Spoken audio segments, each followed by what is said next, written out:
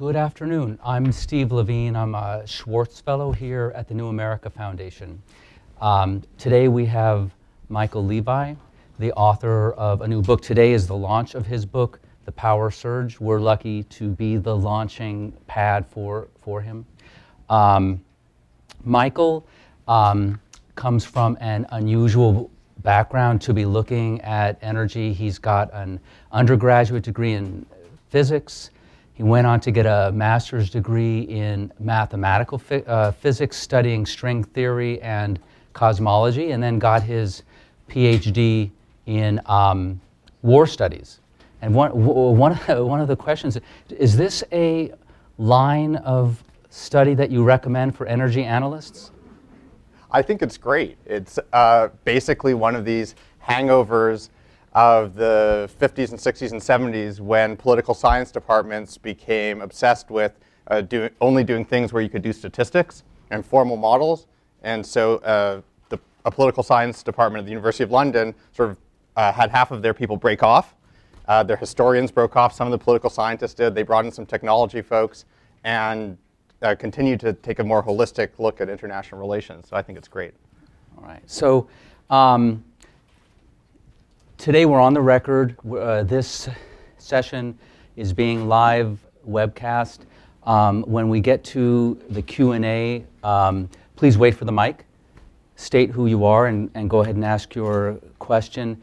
We're, we're at the uh, beginning stages right now. We have been for the last two or three years of a brand new age in energy, uh, perhaps the most turbulent age since uh, modern energy began in the middle of the 19th century.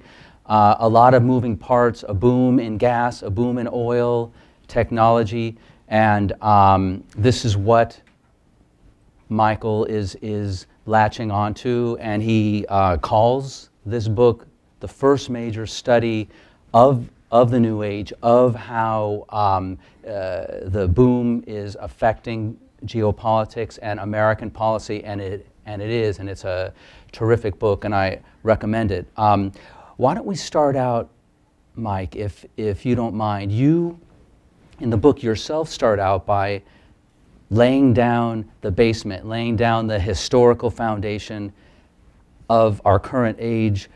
Do you want to start with the 1970s, just sort of capsulate how we got here?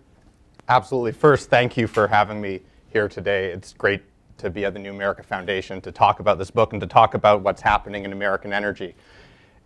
One of the things I got to do when I was writing this book was transport myself to the 1970s by reading memoirs, reading newspapers, looking at how the debate over energy unfolded the last time we were experiencing major change in American energy. And, and really, you do need to go back to the late 1960s, early 1970s to see a period with this much change. At the time, you had the first oil crisis, the first Earth Day, which we uh, just saw the 40th anniversary of uh, a week or two ago, uh, the continuing rise at the time of nuclear power. You had a host of different changes in the energy scene, but also different changes in the world.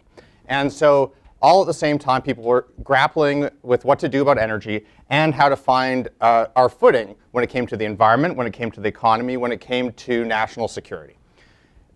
Throughout the 1970s, uh, in the aftermath, particularly of the first oil crisis, you had a, a very intense debate. Uh, and you had a debate that, that pitted advocates of uh, essentially doubling down on fossil fuels, growing supply as the answer to our problems, and people who advocated a very different energy path. Uh, they talked about it as a soft energy path, where the focus was on efficiency and on alternative energy sources. And both sides largely agreed, or at least asserted, that the two routes were exclusive. You had to pick one or you had to pick the other. As I read it, this all culminated in the 1980 election. I spent a lot of time reading about the 1980 election during last year's election season, and it sounded awfully familiar. The rhetoric was very similar uh, on one side, uh, focusing on opportunities to grow supply and putting down the importance of curbing demand and promoting alternatives, and on the other side, really dismissing uh, opportunities that come from oil and gas and at the time nuclear power. So there was this sharp split. Uh, the 1980 election happened. Uh, there was a decisive win, at least politically. In the 1980s, you saw uh, essentially a hands-off approach from government to energy. For a while, that worked, uh, particularly as you were coming out of a period of deregulation, uh, of, of, heavy regulation. Uh, you did see decreasing demand, and you saw increasing supplies. But as time went on, uh, that largely petered out. And if you look 10 years uh, beyond that, what you basically had was stagnation and then decline in U.S. Oil and gas production. You saw eventually moratorium on new offshore drilling. At the same time, you stopped tightening fuel economy standards on cars and trucks, and the fuel economy of our cars and trucks stagnated. And we started starving uh, clean energy of support from government. So neither side really got what they wanted except for to knock the other one down. We coasted along for a few decades on that until uh, we got to the place where we are today, or at least the place we were a few years ago before things started to change again. All right. So every, it's, it's not new anymore. Everyone's heard about this the boom in gas, the boom in oil, the Bakken shale, the Barnett shale, and, and, and, and all the repercussions of that. And, and you frame this interestingly how the 1970s were about, for Americans, trauma suddenly we were no longer in control of ourselves, of our own destiny. And the decades since then have been how can we get that back? And that is how, I think what you're saying, that is how Americans and American policymakers are viewing it now. But you don't see it exactly that way. Well, I see opportunities here, but I don't see the same transform, sort of fundamentally transformative outcome that some people claim. Uh, there's a habit, uh, maybe it's not unique to the energy world, of insisting either that a development doesn't matter at all or that it's going to change everything in the world. And the reality is that this is somewhere in between. Uh, oil and gas production are increasing. It's helping hold down greenhouse gas emissions. It's increasing economic activity. Uh, on the gas side in particular, making us more secure in the world. But that doesn't mean that we're now going to be energy independent in a meaningful way, that this is going to solve our fundamental economic problems or deal with climate change. Uh, but we have this habit of grasping for those answers. And I think the 70s do reveal that this is not a novel phenomenon. This is what you do when you don't know what's going on in the world. When you're scared, you grasp for answers, and sometimes you overread developments and uh, expect too much out of them. I worry that when we expect too much out of particular developments, we make bad decisions. Uh, when everything is in, in extremes, uh, you tend to go to extremes in order to make sure that it delivers, and that often plays out uh, quite poorly. All right, so, so we're going to divide our, our talk into, we'll, we'll, we'll talk about the United States, we'll talk about technology and climate, and then we'll get to foreign policy. So sticking on onto the the U.S. part, you you in, in an optimistic scenario, you say we could add five million barrels a day to U.S. production, but you say that it peaks and then it comes down. So therefore, it's not uh, it's not this answer that optimists seek. Uh, what is it then? Well. A lot depends on the choices we make. I think you could add more than that to U.S. supply. You could add less than that. And I go through a variety of different sources of supply. You're talking uh, about one scenario that I outlined, but I, I talk about the different uh, potential gains from offshore drilling to tight oil to enhanced oil recovery with carbon dioxide. Part of what convinces me that this is a trend that's likely to be sustained is that it comes from multiple sources. Uh, but over the longer run, there are some constraints to what can happen. Uh, the first uh, is one that might be imposed, and that's a carbon constraint. I don't think that that automatically hits uh, U.S. oil production. I think for the foreseeable future, even if the world got pretty serious on climate change, we'd continue to have relatively high oil prices that would make it profitable to invest in these areas. But over time, a serious effort on climate change would bring oil prices down and deter U.S. production. The second piece is more fundamental. Even if you did, let's say, double U.S. oil production or triple U.S. oil production, uh, it wouldn't. It, it, might allow you to use the words energy independence in the sense that an accountant might talk about there being balance on his uh, on the form that he fills out, but that doesn't actually mean we would be independent. I think we conflate this jargon with some actual state of the world in a fairly unproductive way. And the, the basic logic behind it, behind why this doesn't make us uh, independent in a fundamental way is straightforward. Prices are set on world markets. Events on the other side of the world affect us here, even if we produce our own oil. And critically, the fact that during a crisis, uh, money would go from an American consumer to American producer would not shield us fully from the brunt of, of an oil shock because producers don't spend money as quickly as consumers do. This is one of the things I was surprised to learn when I was reading the book. I assumed that at some point between 1973 and now, uh, the economics profession had figured out uh, how vulnerable we are or aren't to oil shocks and how much it matters if we produce our oil here as opposed to importing it. It turns out that there was an intense debate in the 1980s about our vulnerability, and it, was, it, it came to some conclusions. The 1973 uh, oil shock caused part of the stagflation in the next decade, but not all of it. Uh, but we still continue to this day to debate how much uh, oil shocks hurt the economy. And there's almost nothing that's done to look at how much domestic production might or might not insulate us. It's really shocking how little we've dug into some of these things that we talk about every day. Let me flag one last piece, though. Let's imagine that you were to double US production in short order. And at the same time, Canadian production grows, and as a lot of folks assume, Iraqi production grows in a significant way. It's not clear that there's space in the world for all of that oil production. And at some point, if people are producing a lot more oil than anyone wants to consume, prices have to fall. Now, that would only last for a relatively short period of time because falling prices would crush that U.S. production that had stimulated increased, uh, increased oil supplies and the price drop in the first place. But it could be, uh, it could be pretty tough for a couple years. Uh, it puts a real limit on how much you can add US supplies to the market. When I look at some of the studies out there, where a team will put out one study saying we're going to have massive growth in supply, and another study saying no one's going to want oil anymore, I have to ask, where do these pieces all add together? If you're producing that much more, you do need somewhere for it to go. Right. So, so this is this is a big question about the studies that are out there. Let's, uh, let's just dive into what you just said. So the, the, uh, the forecast, the geopolitical forecasts we see, the geostrategic forecasts uh, of the salutary impact for the United States, uh, financially, balance of payments, and, and, and so on, rely on, uh, they re- the U.S. becomes an energy independent or whatever, you know, when you count in Mexico and Canada and so on. But everything else, all the other moving parts have to stay the same. They don't just have to stay the same. Everyone has to cooperate and help us let this happen. There's one study, I won't attribute it, but it floats around uh, US government circles and some outside that projects a middle case of a 10 million barrel a day increase in US supply. So that's almost a tripling of US supplies with a high case of 15 million. This is a spectacular change, and they project this in the next seven years. And then they say, well, this will we will balance supply and demand because uh, OPEC countries, Saudi Arabia, and others will decide to hold something like 10 million barrels a day of oil off the market in order for supply and demand to balance and prices to stay high so we can continue to do that. Now, that's basically Saudi Arabia unilaterally deciding to go out of the oil export business. That's not a great assumption to make if you want to look at the future.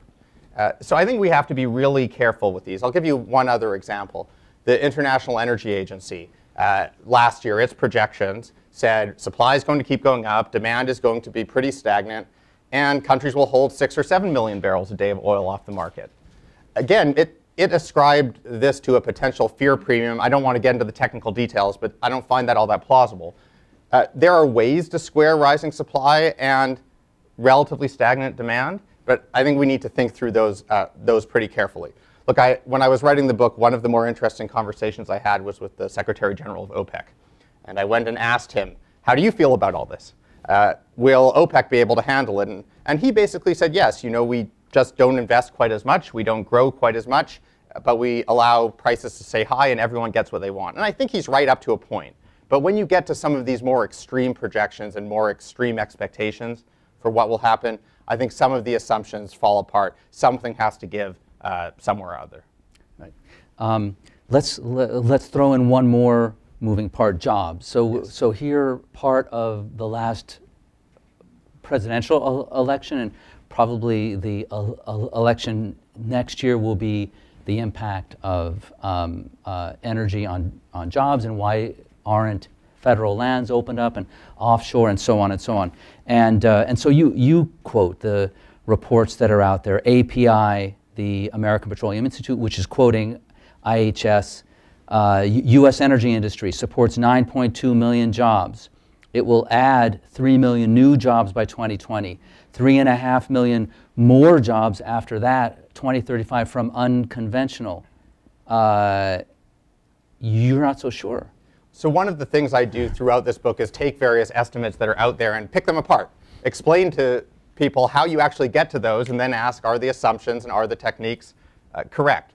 So let's take the most obvious one you started with it. People talk about there being 9 million jobs uh, related to the energy industry. And there's this casual extrapolation. Well, if we, let's say, double oil production, maybe we'll double that number of jobs.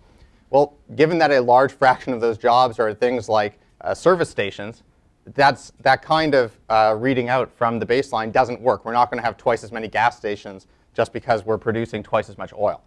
It gets trickier when you really drill down. So the other, the other big constraint historically in thinking about job impacts of uh, new industries is that when the economy is healthy, you don't really add jobs by creating new industries. You add wealth, but the level of employment in the country is determined by more fundamental things like Federal Reserve policy and how easily people move from one job to the other.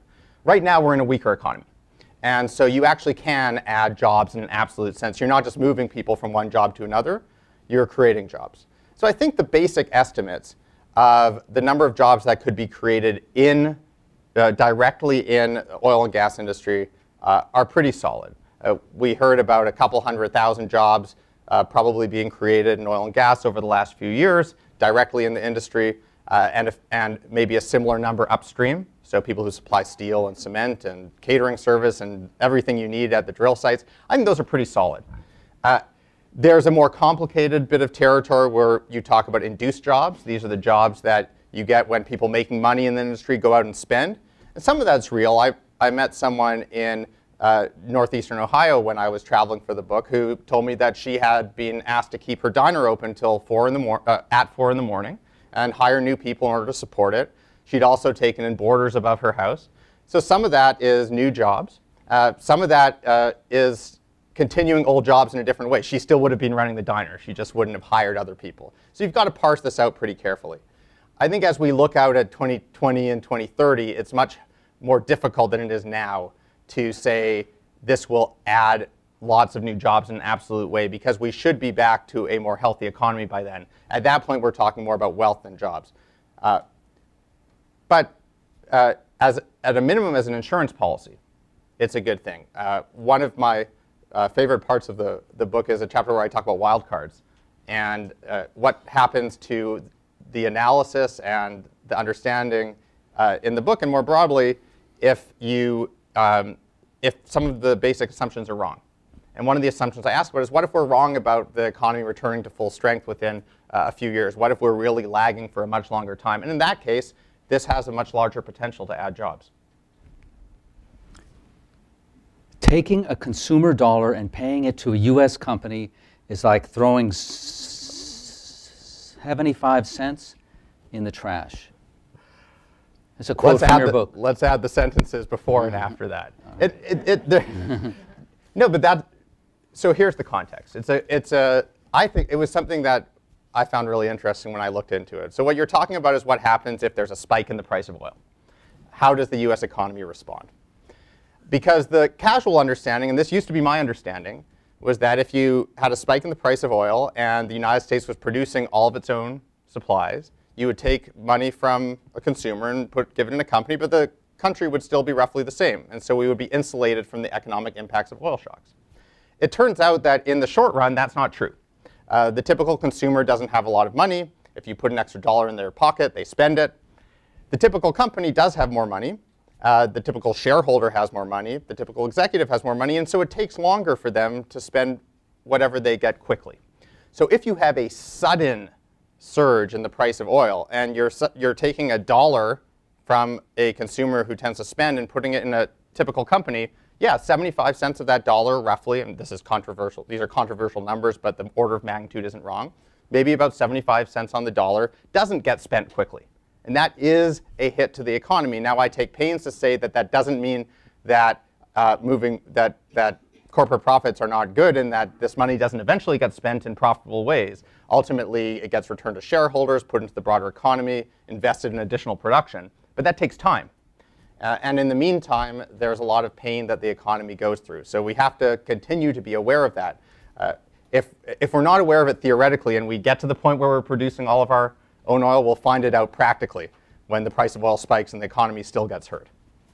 Okay, J uh, just to uh, clarify, I'm, I'm, just about to move into technology, but you're you're not a critic of the boom. Absolutely You're saying not. just be smart about what's really uh, what could possibly happen and what policies are enacted. Right. So I think two things are essential. One is we need to be smart and serious about what's actually happening. I don't want people to say, let's not worry about getting our jobs policy right and our growth policy right and our foreign policy right because this is going to make us independent of the Middle East and solve our jobs and economic problems. I think in a time where we do have so many problems, it's really tempting to say, let's check a couple of these off the list. And I don't want to do that if they can't genuinely be checked off the list. The other thing, and we haven't, we haven't talked about this and we can uh, later on, is that there are big environmental challenges associated with these, particularly in, in the areas where development happens. Uh, and not only the traditional ones like air and water, but the challenge of integrating this activity into communities. Uh, I talk a lot about that. I visited with a lot of people uh, who are grappling with that challenge from all sides of it. And we have to get that right, not only because it's the fair thing to do, but because if you don't get it right, uh, all of these jobs impacts and other impacts, however large or small they are, uh, could be foregone uh, if there's a serious backlash and these developments can't go forward. All right. So, th- so here, uh, let me inter- interject a question. There's something that I've wondered. The last sentence. We know that that if a Macondo happens in a fracking field, this could have very serious repercussions in terms of the companies being able to proceed with this boom. Uh, do the companies themselves take that seriously uh, in, in, in terms of you know, proactively getting out there and making sure it's done right? There's enormous variation among the different companies. I think some of them are out there trying to make sure it's done right, but uh, the onshore oil industry, in particular the sort of hydraulic fracturing, tight oil, shale gas world, is much more uh, diverse even than offshore drilling. And so I think some companies probably believe that as long as they keep a good reputation, they'll be insulated from problems that others uh, incur. I don't think that's right. I don't think people distinguish carefully among the different companies.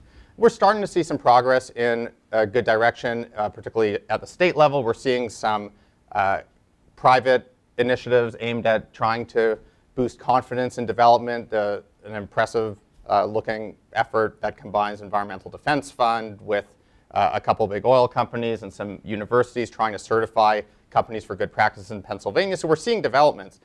Part of what I worry is that even if a handful of big companies went to their typical friends in Congress and said, look, I'm afraid that something will go wrong. And some of my competitors will cut corners, do something stupid, ruin this for all, ruin this for me. Their friends in Congress would say, I still don't want to put additional smart regulation on the industry. I think we've got a really weird situation there where everyone would benefit from making sure that the whole effort can't be undermined by someone doing something stupid. Uh, but the prospects of actually getting uh, people in Washington beyond the regulators using their existing tools to do things are pretty limited. But isn't it inevitable that there's going to be a big accident? I mean, this uh, it, it happens right now Accidents or five years. Yes. Yeah. Well, and we've seen accidents. I, I, don't know how inevitable it is that there's something on the scale of the Deepwater Horizon disaster. It, that's a peculiar circumstance, and the you know, the details onshore are very different from offshore. But I think there's a good chance that we have something go badly wrong, and then the question becomes how does that more broadly influence development? It's a bit trickier than, than offshore. I think the dynamics are different. Uh, this is so spread out throughout the country and affects so many different people that there's going to be a big, uh, there's a lot of pressure to keep it going. But yeah, I think it's a, I think it's a real risk. I, don't, I, I never like to say that anything is inevitable, but the risk is high enough that we should be doing something about it. Yeah, yeah. Um, technology. All right, so you, you have this line.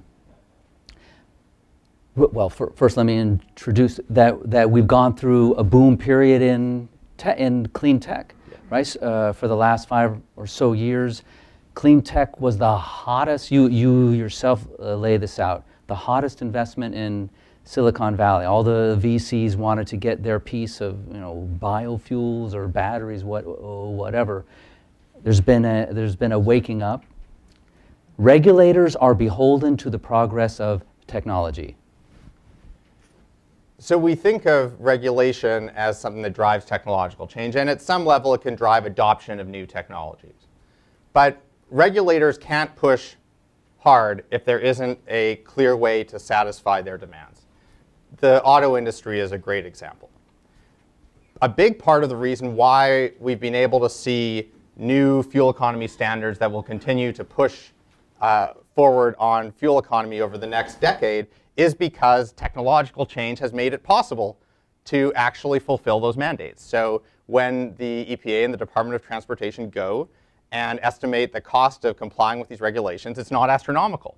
Uh, why? Because we've seen big gains in materials, in, in uh, the way that cars operate, so in a lot of ways computing. Uh, we've seen uh, the advance of hybrids that allow us to foresee much bigger penetration into the market. Uh, but the other piece of the story is that we don't have all the technology yet that is going to allow us to comply with the various requirements that we've set out. So when, we, uh, when people talk about our future trajectory, they'll often say, well, our fuel economy rules say that we're going to have uh, cars that get 54.5 miles per gallon measured in a strange way by 2025. If you go and talk to the car companies, and I did this when I was working on the book, they'll say, look, we know how we're going to get to around 2022 and comply with these mandates. We're not so sure about the last three years of this. And by the way, that's why we insisted when we negotiated this that there be a review in, in 2018 to determine whether the regulations need to be tweaked. If we don't have the right progress on technology, if we don't have the right progress on costs, I assume that when we get to, 20, to 2018, there will be a big push to change the rules. And if we have made a lot of progress, uh, then I think the companies will still buy in. Uh, at this point, uh, you know, if you go back 40 years, uh, pushing for more uh, fuel-efficient cars was really about selling smaller cars instead of bigger cars. If you're a car company, you don't want to sell a smaller, cheaper car instead of a bigger, better car because you're not going to make as much money on it. To the extent that it's technology rather than size that's allowing you to be more fuel efficient, this is actually an opportunity for a lot of automakers. They're basically selling technology instead of gasoline. So they can take market in, in a very broad sense away from the fuel producers. Uh, if you're in that world, you have a very different interaction and a very different opportunity.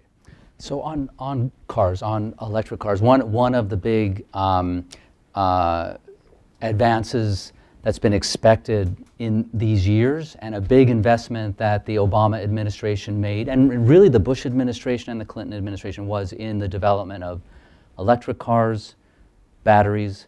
We haven't quite gotten there. And you say that, that uh, the, the most uh, prospective improvements in fuel efficiencies are going to have happen, are happening, and will happen in gasoline propulsion. So I'm, I'm waiting for, for your book to really learn about batteries. Uh, but a lot of the big improvements, you're absolutely right, a lot of the big improvements are in doing conventional cars better. We're still moving forward on uh, from hybrids to plug-in hybrids to fully electric at some point in the future.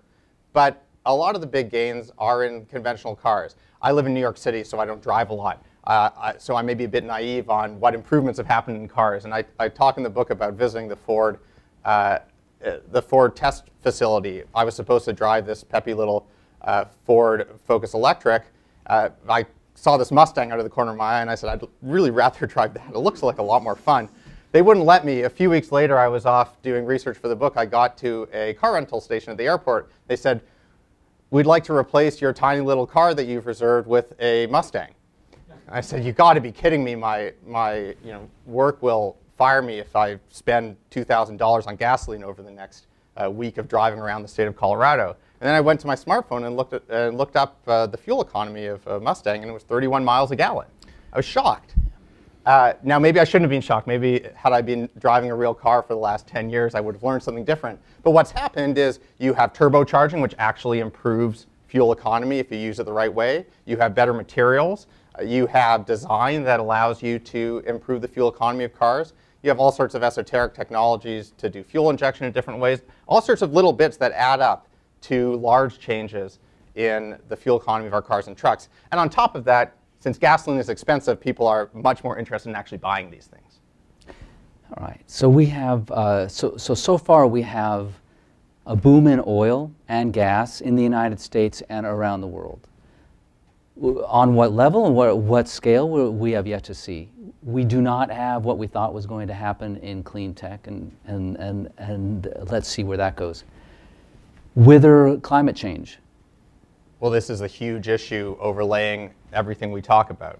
And I should say we've had a pretty significant flow of money into clean tech. If you look in 2011, as almost as much money uh, went into clean tech investment as went into uh, exploration and production of oil and gas in the United States. So these are big numbers. This has become a big business. It's not up to the scale of the climate challenge at this point, uh, but we're seeing falling costs and new opportunities. Uh, one of the ironies of falling costs is it actually makes it more cost effective to try and push things to the next level. Uh, you can't subsidize or provide government support for something that's extraordinarily expensive at a large scale, but if the costs are close enough, you have new opportunities. Uh, climate change. We've gotten into an odd debate about climate change where we focus, uh, we, if you go back five years, we actually had a co somewhat coherent debate about climate. We had two presidential candidates fighting over whose cap and trade system was better and about who is going to provide a larger boost to clean energy industries. Um, today we have a very polarized climate debate, and we've, in a big way, started shifting to fighting not about uh, what will actually solve our climate problem, but about whether oil and gas development is bad, so bad for climate change that we should not either allow it to go forward or encourage it to go forward. I think we're in a, quite a bit of a muddle there. So let's start with oil. Uh, more U.S. oil production mostly displaces oil from the rest of the world, not just in the U.S. market, but in the global market. And that means that its impact on emissions is relatively small. Uh, more natural gas production right now is mostly displacing coal-fired power. And that means that emissions come down as a result, uh, even though natural gas entails greenhouse gas emissions. So we've got oil where we're making economic gains without much of a climate penalty in the United States, and we've got natural gas that's actually helping us on climate.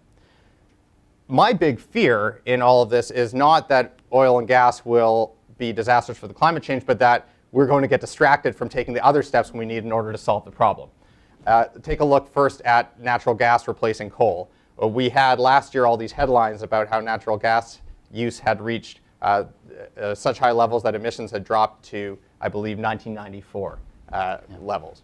If you look at the new Department of Energy projections for natural gas use, they don't see gas use returning to last year's levels until 2026. So last year was an anomaly. Prices were really low. They're more normal now, and that means coal gets to claw back. So we need to use gas as an opportunity to push forward with policy that reduces emissions more cheaply than we could have several years ago, rather than hoping this will solve our problems for us. On the oil front, we need to make sure that abundant oil doesn't distract us from the need to cut our oil consumption. And we can do both of those at the same time. Cutting our oil consumption is a much more powerful way to confront climate change.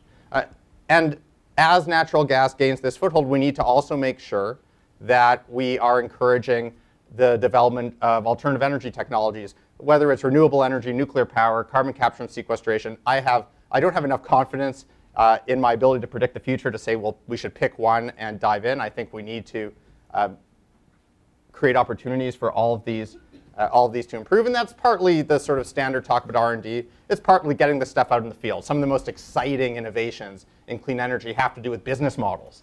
Uh, you don't normally think when you talk innovation about lawyers doing their job better or bankers doing their job better. You usually think about a guy in the lab.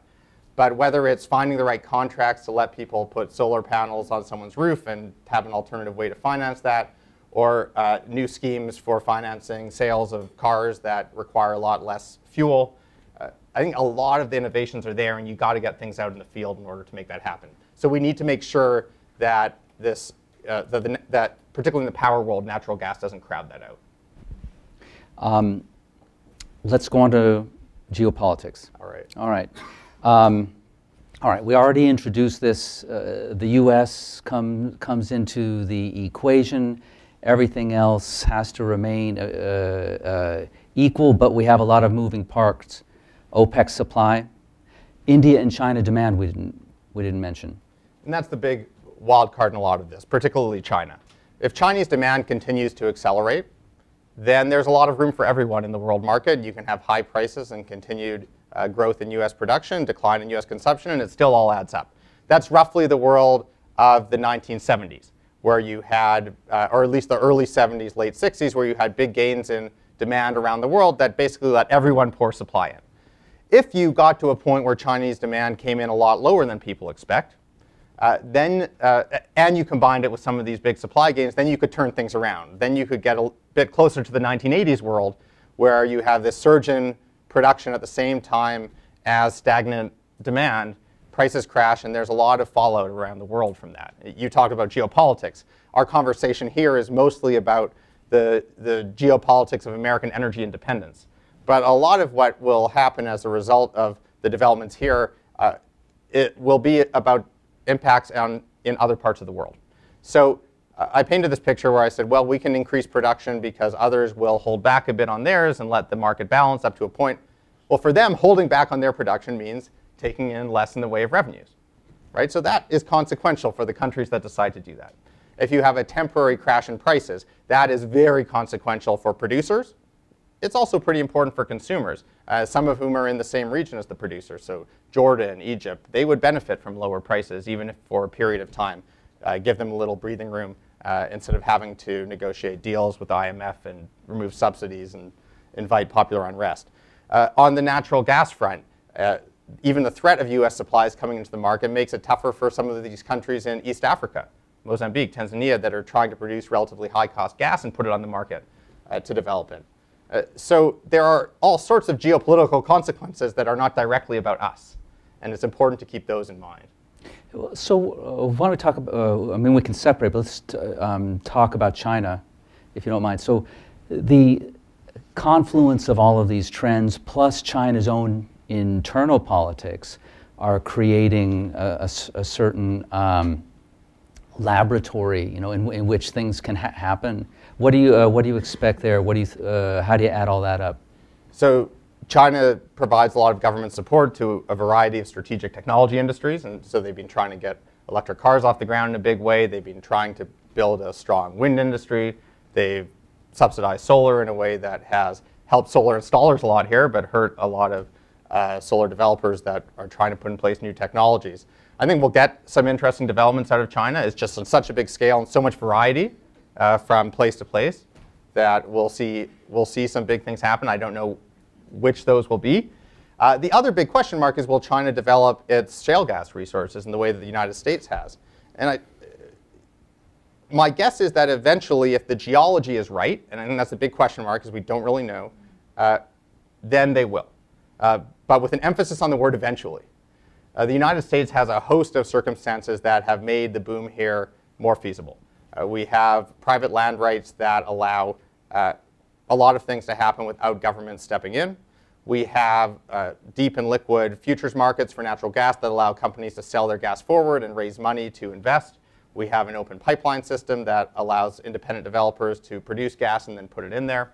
We have a robust service industry that, again, adds to flexibility, and so on and so on. We have uh, resources that are close enough to cities that you can get water to them easily, but not so far from cities that it costs a fortune to, uh, close enough to cities you can get water in, not so close that the environmental challenges are insurmountable.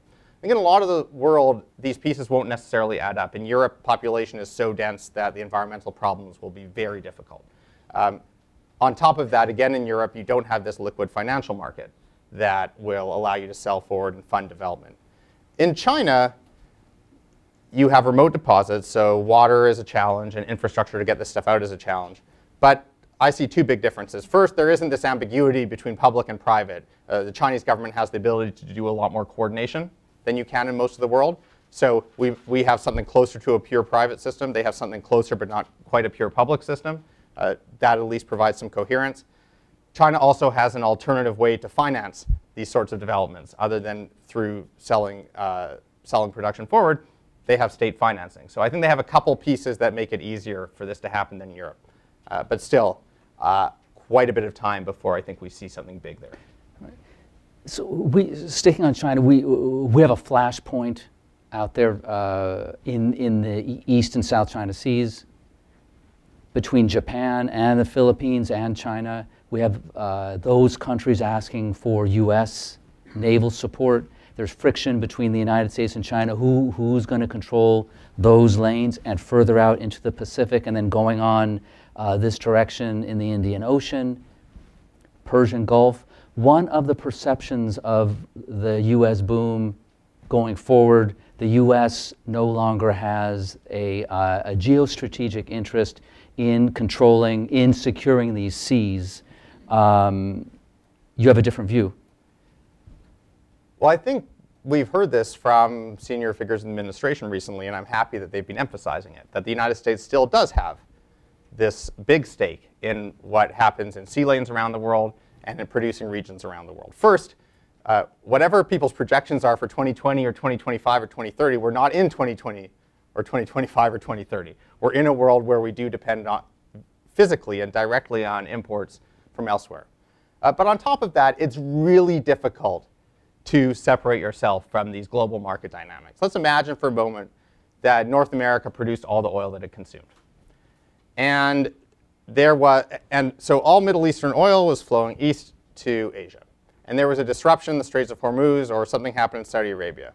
What would our friends, our allies, others in Asia do given that shortage of oil? They would go around the world and try to bid it away. They would spend money to bring oil in, and that would raise our oil prices. Okay? If they took oil from Canada, for example, or if they tried to bid oil from the United States, that would raise our prices. So it's very difficult to isolate yourself. Uh, on top of that, if the United States were to pull back, it would be a really fundamental uh, decision in terms of US relations with allies in Asia and the Middle East. We'd basically be saying to Japan, Korea, we're done with you, you do your own thing, sort it all out with China, we'll be sitting over here and uh, you know, hope it turns out okay. I don't see us heading down that, that road in a deliberate way. What I would say, though, is that regardless of what the underlying logic is, the politics could push us at least to some degree in that direction. Uh, political decisions aren't made based on what your economics advisor tells you. They're made based on what you think is going to happen in the world.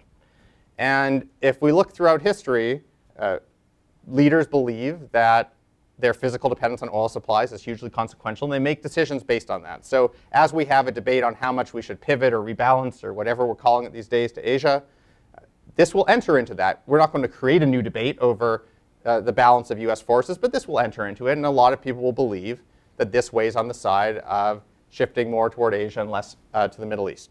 Uh, in China, there's a lot of discussion and a lot of confusion about whether the United States will shift its posture. And regardless of what we say, they are not going to fully believe us. And they will take steps to hedge. Same thing in the Middle East. You travel to the Middle East, and this is certainly not universal, but there are a lot of people in the Middle East who genuinely believe that the United States is there to take the oil. And if you believe that, and then you see the United States no longer needing to take the oil, you act differently. You find new partners, you find new people to support you. Again, I think these are slow burn things in part because there's no other country with the will and the capacity to replace the United States in these security responsibilities. Uh, China, you might be able to talk about China doing it on paper, but we're not anywhere close in terms of aircraft carrier capacity and other abilities to operate uh, far away. But I do think it's important for the United States to continue to emphasize that it is committed to having this role. Uh, it's not to say that it always does it well, but there is no ready replacement, and certainly not one that we would like for the United States in these regions and providing for open commerce, uh, including in oil and other natural resources around the world. All right. Perceptions are important. Let's open this up. Let's get uh, questions. Um, please wait for the mic and um, identify yourself. We have one question up here.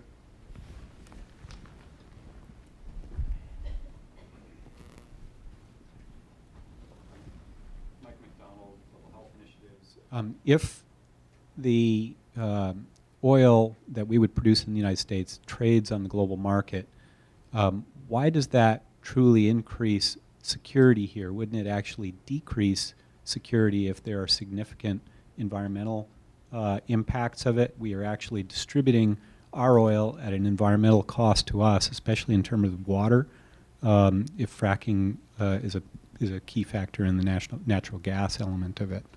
So that's a good question. First, I don't want to suggest that there are no security benefits from producing our own oil. Uh,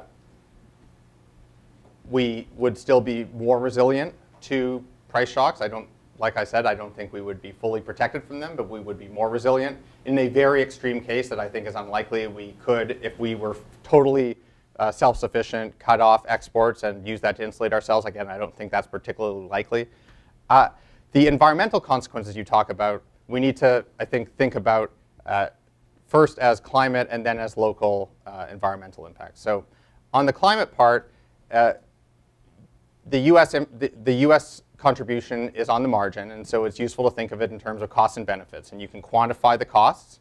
Uh, you can say, let's say that a ton of carbon uh, put in the atmosphere does $20 worth of damage, which is what the US government says. You can say, let's imagine it causes $100 worth of damage just to be safe, and compare that to the economic benefits that come from adding this to the market. And given current oil prices, it's very tough to come to the conclusion that the environmental damages there outweigh the economic gains. I think, uh, and we can talk about that in, in, detail later. I don't want to do math in front of a large crowd. Um, it's never a good thing to do.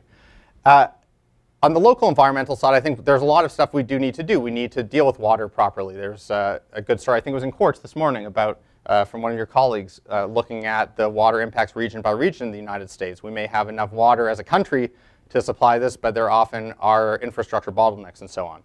I don't think of that as a security issue. I don't think that uh, water distribution in Colorado is a national security issue. That doesn't mean that it's not important, but I don't know that you can put those two together and say, well, here's how we weigh the security balance. Okay. Next. Um, hi, I'm Chris Leonard. I'm a Schwartz Fellow here. I was I would love to hear your thoughts about this notion that um, the growing domestic supplies could create sort of an industrial renaissance in the U.S. It'll be cheaper for manufacturers to to do things here, and also petrochemical manufacturers might have an edge. So let's separate this into three categories: petrochemicals, energy-intensive manufacturing, and other manufacturing. So start from start from the third. Most manufacturing does not require a lot of energy inputs. And so cheaper energy does not make a decisive difference. Energy intensive manufacturing, steel, cement, glass, let's set aside petrochemicals for the moment, does depend more on energy costs. But there's still a relatively small piece of the equation. I find it unlikely that uh, radically lower natural gas prices will cause a lot more investment in those areas in the United States. I do think it will deter some plant closures. Right? Once you've already put in all the capital for a plant, then this energy cost difference looms much larger in your decision making. And so you're likely to keep things open for longer. I also think the other big impact uh, on that kind of manufacturing is from the supply chain for oil and gas production. We tend to conflate these pieces, but about 20% of the capital that goes into a shale gas well is steel. That's an energy intensive uh, manufactured product. About 10% is cement, another energy intensive manufactured product. Demand for that is certainly bolstered by oil and gas production, but it's not because natural gas is cheap. It's because people need it, need this to put in it uh, to, to build the wells. And I think that the, the simultaneous discussions about that impact and the low prices are confusing things a bit. What we're seeing is mostly an impact um, of greater demand for these products because of the industry. Petrochemicals is a special case because you're not only using methane or natural gas liquids that, well, you're not only using methane, natural gas to power the plants, you're actually using it to make the product. Uh, you're using methane to make the product, and you're using something called natural gas liquids, which is somewhere between gas and oil. Comes up with natural gas uh, in order to feed into big facilities and produce uh, ethylene that allows you to make a whole host of, of different products. I think there, there is a much bigger uh, set of gains to be had. One of the questions, uh, one of the variables we'll still face is whether some of those natural gas liquids are exported. And we have this whole discussion about uh, liquefied natural gas exports. And there's a lot of attention on that and a lot of concern about the manufacturing impact. I think it might be at least as consequential for manufacturing whether people start to liquefy and ship ethane to other parts of the world. And there's certainly folks looking at that. Uh, Michael, if I might ask about, about uh, one of the big consequences we hear and one of the great, uh, biggest components of the rhetoric is OPEC, getting off oil, getting off Saudi Arabian oil, and, and there's uh, uh, a lot of xenophobia that's all, yeah, it's all, all wrapped up into that. Um, What happens to OPEC? The, these countries, their economies, the longevity of the leaders of those countries rely on that oil. What do all of these trends mean, mean for them? Can they really cut back? So I think that as long as these countries need to cut back only in the sense of not growing their production as much as they might have, they're generally fine. Um, so if you sit still with whatever you're producing and you are able to keep a lid on prices, then you're basically okay. If you have to actually cut back your production, not just in a, in a relative sense, relative to what you were hoping to do, but in an absolute sense, I think it politically becomes more difficult. You're actually shrinking revenues and causing yourself to make tough political choices. I don't think the United States alone is going to push the world to that kind of decision, but if you combine the United States with Canada, maybe with Iraq, which is its own OPEC story because it's part of it, um, and maybe with a change in Chinese demand, then you start to get some of these tough decisions. But I think you need to put a lot of those pieces together.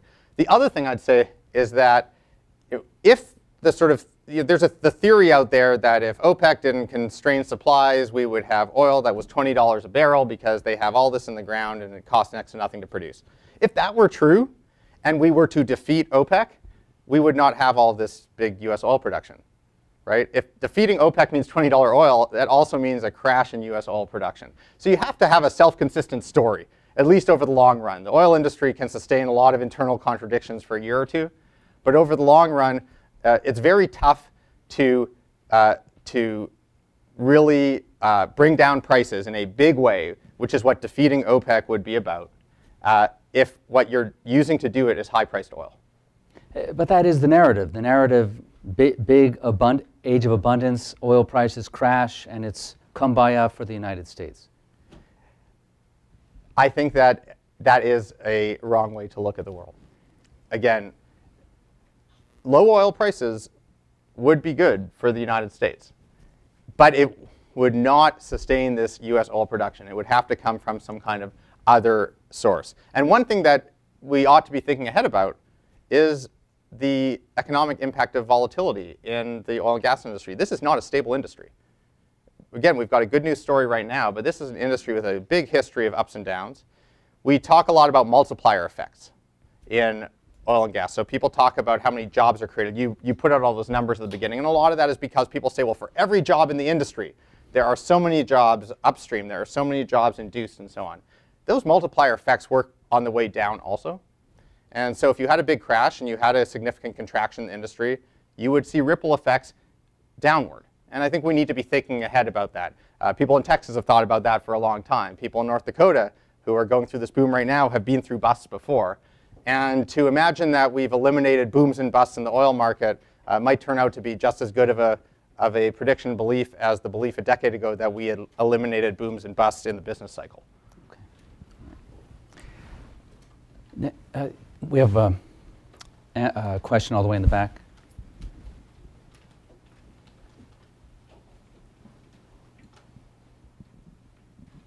Uh, Andrew Holland with the American Security Project. Michael, you and I have uh, had a, a, couple of debates over, Twitter about this. Uh, and I guess it, I kind of contend that demand in the developing world, China, developing Asia, Africa, is essentially unlimited at 80 to 90 dollars a barrel of oil. Uh, so I don't see a collapse in prices. Uh, I kind of I want you to unpack it a little bit more. Why you think that there could be a collapse in prices due to China, or you know? So I'm not I'm not saying that it's likely that there will be a collapse in prices. I think you can certainly foresee circumstances where it will happen. Uh, and again, you don't need to have wild ideas about this. If you look at uh, again, the International Energy Agency projections, if they are remotely close to true, you open up a big gap between capacity to produce and demand for oil in the next several years and that has to resolve itself somehow.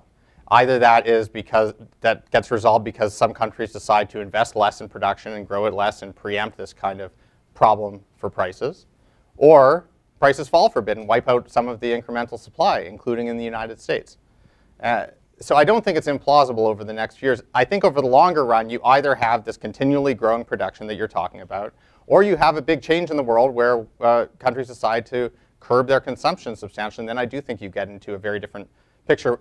I hate projecting what will happen in the world 10, 20, 30 years from now. It's a great way to make yourself look like a fool. Um, and I know that in some circles, when you say, I don't know what will happen, uh, that counts as saying, I don't understand what's going on. Uh, but in this case, that's really what we should be saying if we understand the problem correctly, because the dynamics internally in a country like China uh, that combine you know, different functioning of market, different policies, uh, urbanization, different consumer preferences, you can't project that well 10 or 20 years out into the future. Okay. Uh, right here.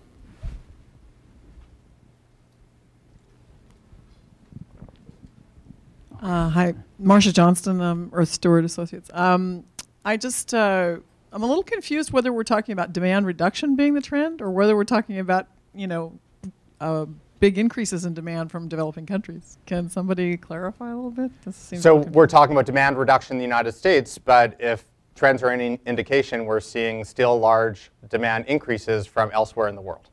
Uh, the United States is heading in a different direction. We've had oil consumption fall not perfectly steadily, but pretty steadily since about 2005. This is the first sustained trend like this uh, since the 1970s. At the same time, we're seeing large supply, sorry, large demand increases elsewhere in the world, and that's what allows these different pieces to, uh, to add up. Now, again, to be clear, I would prefer that the world got its act together and started consuming less oil, or at least increasing its demand for oil uh, in uh, a more modest way. But the United States has pretty limited control over what happens in these other countries, or lim limited influence. I don't think it has any control in a meaningful sense. Right here, this man. Hi, Stephen Lacey with Greentech Media. Um, I'm curious, as you traveled around the country, how extensively you found the oil and gas boom has impacted clean tech. Uh, certainly, the industry has gone through a number of challenges, many of those um, independent of the oil and gas boom particularly in manufacturing and electric vehicles and solar, um, but energy production continues to grow. Um, how intertwined are these two in the U.S.? It's a great question. One of my favorite experiences while I was writing the book was visiting with the CEO of a, a company that makes batteries for electric cars in Silicon Valley, and he bragged to me about how cheap his natural gas fueled vehicle was and how he'd gotten a great deal and was saving all this money, but he still did not think that it could expand and take over his market. And so he was still going just as hard on batteries for electric cars and wasn't having problems with getting the financing. I think there's obviously an impact, particularly from the gas side. And the oil side is, eh, again, the price impacts are much more moderate. We're in a big global market. There are offsetting uh, factors that make it hard for US supply to move prices all that much. Uh, natural gas is more challenging. Uh, it puts a cap on, uh, you know, it it reduces peak prices, and so that creates challenges for uh, technologies like solar that are supposed to make their money delivering cheap energy around peak times. But I still think the bigger factor is policy here. Uh, if you look at what's happening and if, if you look at various uh, modeling efforts, and all these should be taken with a grain of salt, you look at the counterfactuals and say, what would happen if we took away uh, cheap natural gas? You see much larger gains in coal, and you see still limited gains in clean energy technology. If you ask what happens if we reduce the capital costs of clean energy by 20 or 30 percent, you can do that by changing the technology or by putting in place different policy, you see much larger changes in renewable generation. So for the time being, I think the main impact in terms of sort of straight economics uh, is from policy rather than from the market itself. Over the longer run, I think that could change as uh, the costs for uh, renewable energy te technology come down uh, and get closer to where natural gas would have been without this abundance, and by the way, where coal would have been, because that's the other competitor that gas is sort of obscuring, then that becomes more complicated. And it's part of why, if we want to really get to zero carbon energy, we still need policy. Uh, that's not news. That was true before there was a boom in natural gas. It's still true. Uh, but that definitely has to be uh, a big part of the equation. The other thing I would say and this goes beyond the sort of basic economics and even the policy decisions, is there is, I'm sure, an impact on people's mentalities. Right? So when you go out and you're a venture capitalist, you've got your own host of problems. I think we found that the venture capital model isn't fantastic for funding a lot of clean technology solutions that we want. But when you take that and then you combine it with the stigma that, that followed Solyndra, for right or wrong, there's real stigma when you want to go raise capital, and then you add on this natural gas story that people aren't quite sure what to make of, it can't help you raise money for these funds. I think that's, I think it would be foolish to claim that it, that it uh, has no impact. Uh, what happens to nuclear? Well, nuclear is cost challenged, let's say. If you go back five years, nuclear was cost challenged. Nuclear was not a competitive way to generate US electricity before natural gas got cheap. It's suffering from some additional challenges at the margin from a combination of cheap gas, which stops it from making as much money as people would like during the day, and wind subsidies, which stop it from making as much money as people would like at night. Um, so when some of these small, older plants come up for safety upgrades, it turns out to be cheaper to shut the thing down, replace it with a gas plant, than to uh, pay for the upgrade uh, and continue to operate it. But I think that's a small impact. We'll see a bigger impact when we get uh, relicensing decisions down the road. Uh, but before the gas boom and after the gas boom, the big variable for nuclear was still a price on carbon.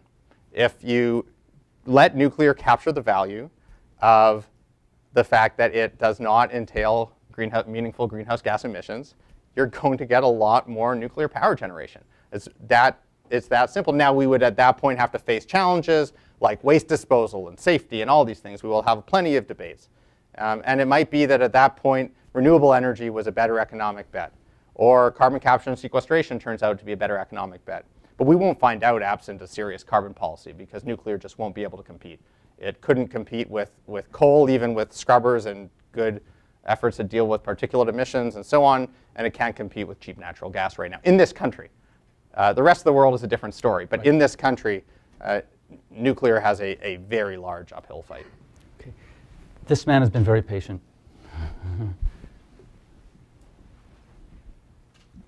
Michael Svoboda, Yale Forum on Climate Change in the Media. I just wanted to ask about two things we haven't heard about uh, Canada, tar sands, Keystone, and the German Energiewende. So, Canada, tar sands, Keystone. To me, this is a, a, this is a great example of how we focus on a symbolic fight instead of getting down to the guts of what we need to do. Uh, I wrote a study on uh, Canadian oil sands four or five years ago. My colleagues used to make fun of me and, and ask why I was working on an issue that no one cared about. Um, and then all of a sudden, this came out of nowhere uh, as, as a huge focus in American energy debates. I mean, the, the bottom line reality is that Keystone would not have a large impact on American energy security, on the American economy, or on climate change. I mean, you can just do the numbers and it doesn't have a big impact. The only way to imagine that it would have a very big impact on climate is to say Keystone is really a proxy for massive expansion of Canadian oil sands, and all of that expansion would be additional to the world market, not substituting for anything else. If you believe all those things, you also have to believe that Keystone would lower oil prices enormously because that same set of assumptions would drive you to make that conclusion. So you can't sort of escape this. You can't say it's huge for climate change and nothing for the economy, or it's huge for the economy and nothing for climate change. The two go together. Uh, but it's a small issue. I understand that it's galvanizing. I understand that it's important to, for people to focus on something. But here you have an issue that 70% of the American people say they would like to see Keystone go ahead. And I think the president would have real political challenges if he said no to it. He's trying to promote an approach that says we're going to push forward on oil and gas production, and I'm going, you know, we're going to use, for now, existing regulatory authority to really screw down on emissions on the demand side. Um, I think he'd have a harder time selling that as a, as a coherent approach if he said no, uh, if he said no to the pipeline. I also find it slightly peculiar that we're spending so much time debating Canadian energy policy when we have some very large problems in this, uh, in this country. But uh, you know, this is the fight we're having. I wish we were at least using it as an opportunity for people to get smarter about energy, about energy security, about climate change. I don't think we're using it as an opportunity to get smarter, to say the least. Uh, the, the, other question was about what's happening in Germany. I'm not an expert on Germany. I'm not going to pretend to be one. Uh, you know, the German experience tell, tells us first that if you want to put in the policy muscle, you can get deployment of a lot of different technologies. Uh, but it's also providing us with learning experience on what happens when you push a lot of intermittent technologies uh, into the system. And so there's a lot of backlash in Germany against what's uh, against some of this from the industrial world.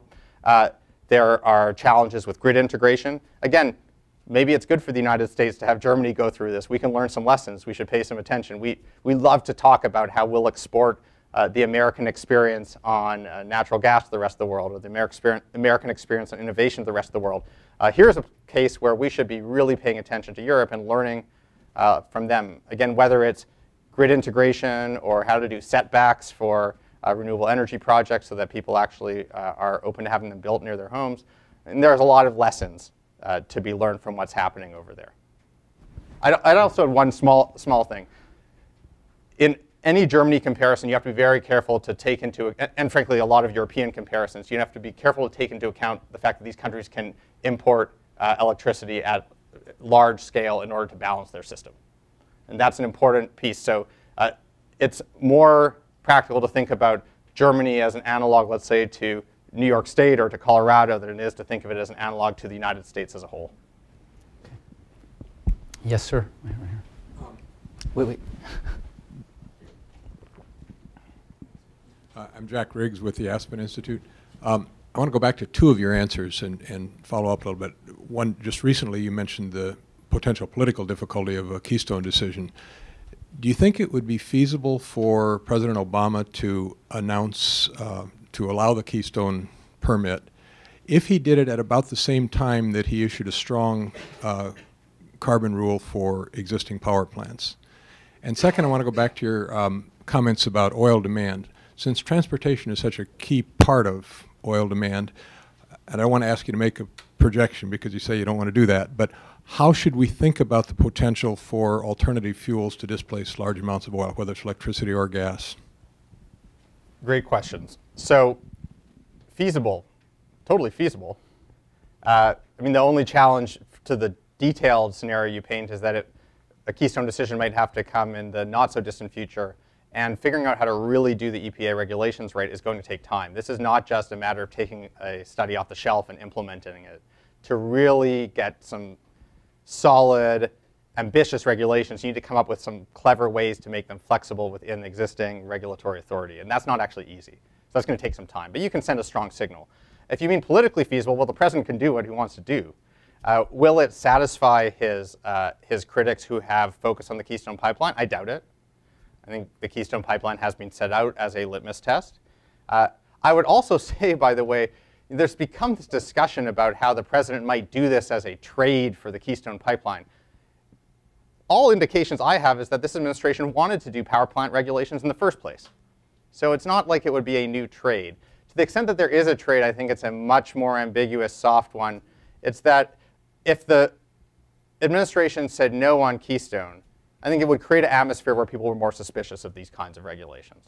And I don't think it would prompt Congress to take away his authority, but I think it would make it easier for them to do it if they wanted to. It would be much easier for people to tell the story about how the president is using his regulatory authority to do things that we don't think he should be doing, and therefore we should claw back that regulatory authority a bit. So I think I would like to see uh, I would like to see stronger regulations on existing power plants. I want to make sure they're done right. I don't want I don't think we want to see them thrown back the way the new power plant regulations were. So people are going to need to take time to figure out how to get this right. It's complicated territory because it's not traditional use of uh, EPA regulations. It's not a, a, widget that you have to add to your plant. It's essentially a system change you're trying to promote. And it's tricky to feed that into the uh, existing laws.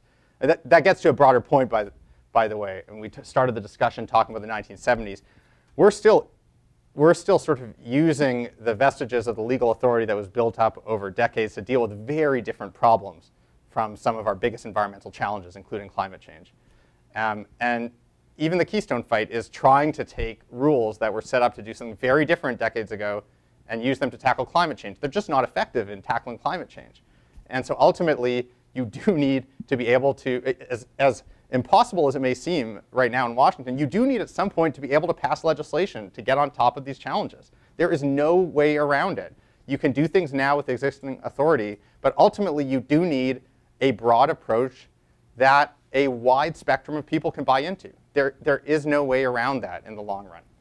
Uh, you asked this separate question about how do we tackle, uh, how do we tackle demand for, uh, for oil in the United States?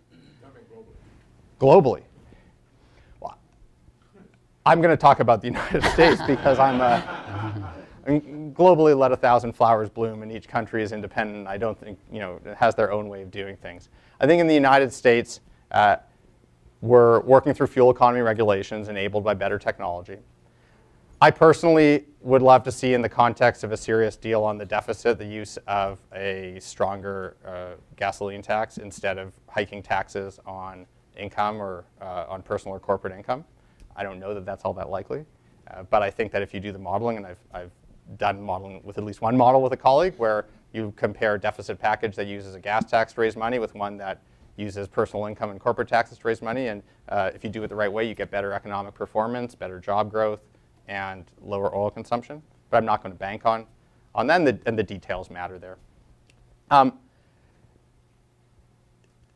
so that, that's sort of the regulatory piece. You can also then ask us sort of the, the technology level what's going to deliver. And I think over the near term, it's mostly changes in our cars and trucks. It's also changes in people's patterns of where they live and uh, where they choose to work and how much they drive. I think people are changing with high oil prices, and we're pretty far out of sample as economists uh, say when we try to extrapolate from the past to the present. So I think it'll be interesting to see how that develops. Uh, two other, two or three other categories people tend to look at: uh, biofuels. Uh, I love read, I love reading these modeling efforts that assume that every piece of the biofuels mandate will be delivered through the next decade I find it very unlikely that that will happen. I think we're about to have a large fight over even the existing pieces of the biofuels mandate. I don't want to get into a technical discussion about renewable identification numbers, but you know, we have some problems in the ethanol world. Uh, the two other places where you have a lot of talk is on natural gas and vehicles. So are we going to start putting natural gas in our cars and trucks in a big way? I think we're, we're seeing some appetite for long distance trucking. For personal vehicles, I suspect it's less likely. I, I mentioned before this, uh, uh, this battery executive who bragged about his natural gas car. Then he pointed out that he happens to drive by the San Francisco airport on the way between uh, his home and his work every day. So he is able to stop every day, or almost every day, to fill up his car because you get about a quarter of the distance on the same, uh, on the same tank of gas, uh, of, of natural gas. So I think there's some pretty big barriers. You can put in home filling stations but that's a pretty big incremental cost, and I'm not sure that people will uh, do that in a big way. Uh, you could see con more conversion of natural gas into liquid fuels, methanol, or into um, probably more likely into gasoline or diesel. But there are a lot of risks that a developer would take doing that. We'll see what, um, what the Sasol project, uh, how far along it gets, and how the economics turn out. And the last piece, and, and I haven't left this for last because because it's the least important, is electrification. Uh, I started off as a bit more of a, a skeptic on, elect on electrification before I started reaching the book, researching the book, in part, uh, to be honest, because we'd cycled through hype and so many different technologies that I assumed that we were in the same cycle of hype on electric cars. We went through hydrogen fuel cells, then we went through biofuels, and so electric cars was next. Why shouldn't it turn out any differently? I, I was at least in part convinced by a senior engineer I, I met who talked about electric vehicles providing an evolutionary platform to develop technology. We've got huge penetration of hybrid cars, particularly globally. That allows you to learn a lot about how to deal with electric engines. Uh, then you can evolve from that uh, using existing infrastructure to plug in hybrids, and then eventually, in the places where it makes sense, to fully electric cars.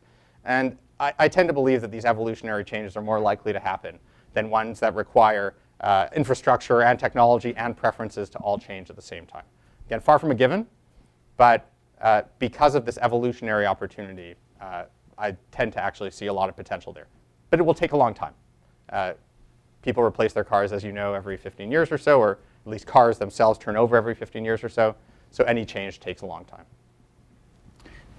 I like that answer. Okay, we have uh, one more, time for one more question. So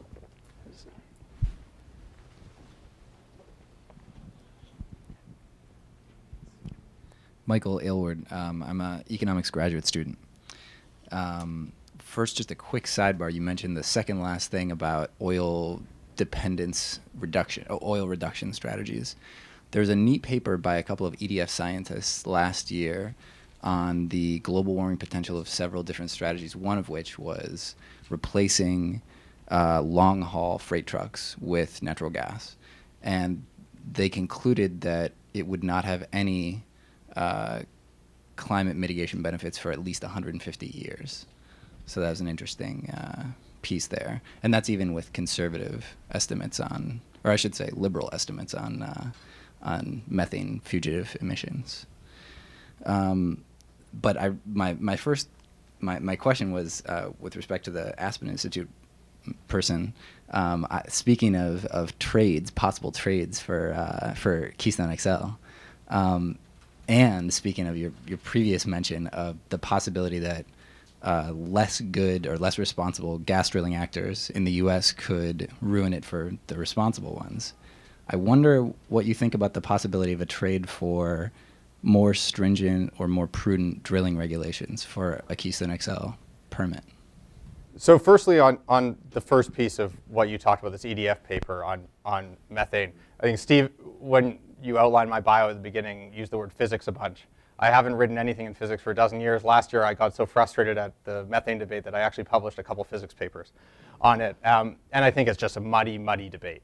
Uh, a lot of that EDF paper is fantastic, but for the long haul trucks, it relies on decades old, old estimates that assume that the efficiency of engines in those trucks are about 20% worse than the efficiency of any other engine. And that drives the results in a very strong way. On trades, again, I'm not sure who would be doing the trading in that case. But I do think, stepping aside from pretending to be a political strategist, as a matter of good policy, allowing increases in oil production uh, to the extent that they're economic given prevailing prices, and at the same time, really making sure that we do this right so that it's safe, so that it's fair to people in communities where it's affected, and so we can continue to enjoy the benefits. I mean, as a matter of policy, that seems to me like a no-brainer. Uh, as a matter of politics, uh, it, like pretty much anything else these days, is pretty tough. All right. Um, Mike, thanks for doing your launch here at New America. Uh, the Power Surge, uh, Michael will be, be signing his book just out here. We have a few copies. Thanks very much for coming, and thanks, Mike, again.